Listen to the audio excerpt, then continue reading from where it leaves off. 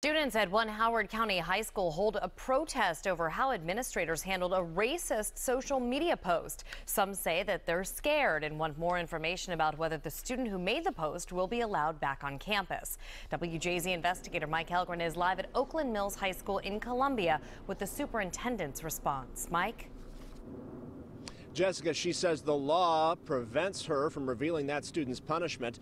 The protest here was peaceful, but the campus went on lockdown for a short time because one of the parents called in a threatening phone call, upset that his child was participating in the walkout.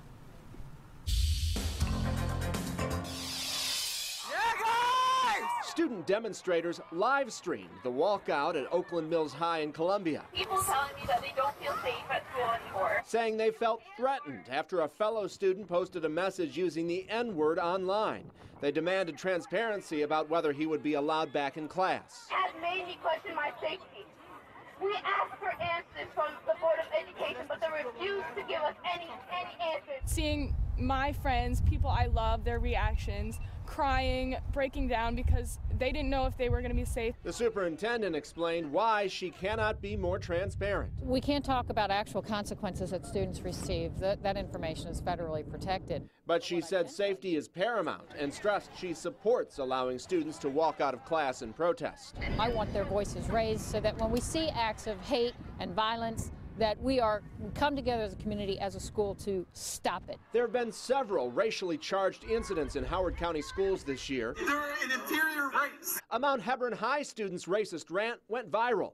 Other incidents happened at Atholton High in Columbia, where a student posted a picture in blackface and used a racial slur.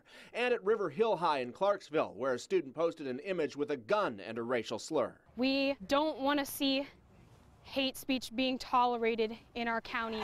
This is a whole lot deeper than just a social media post. This is about how students feel about one another. It's about hatred and bias that exists in our hearts, in our minds. That has to stop.